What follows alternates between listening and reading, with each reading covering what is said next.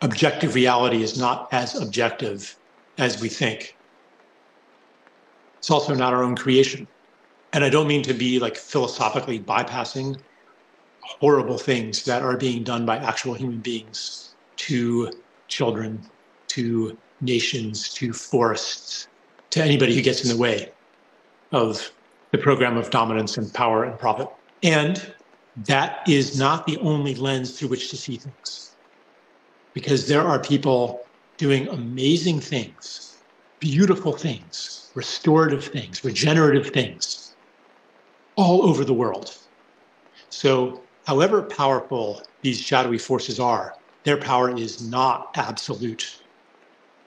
And when we fall too deeply into the narrative, into the mythology of them, we lose our power and we become paralyzed, which means that that narrative is itself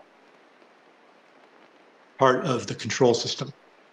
And there's a deep paradox here that the way that one of the ways that the shadowy power elite maintains its power is by disseminating the idea that they exist and that they are powerful. But when you come to your senses, you realize that there are other powers at work in this world that are not subject to the kinds of control that those who are inebriated with power believe in. And these other kinds of power come from the intelligence of all things, the intelligence that is beyond the human, that manifests as synchronicity, that is invoked through morphic resonance and through the prayers of our actions that generate a field like the uh, protective presence people in Palestine, people doing these humble acts of service, doctors who stay in the hospital when it's being bombarded because the patients can't move, so they stay. Maybe they die and no one even knows. How did that help the world? It did. No action is wasted. No act of beauty and generosity and courage is ever in vain. And you know that what I'm saying is true.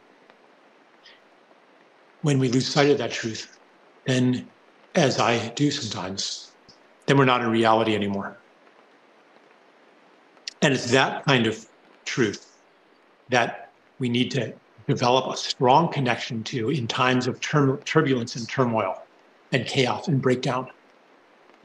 Because what else will we have to navigate by when the systems that told us what is impactful and what is meaningful and what is going to help the world and what is going to create change are obliterated and we don't know what to do? We need something else to hold us.